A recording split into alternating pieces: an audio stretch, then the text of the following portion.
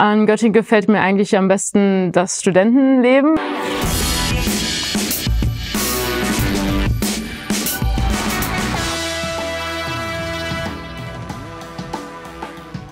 Es sind sehr, sehr viele junge Leute hier.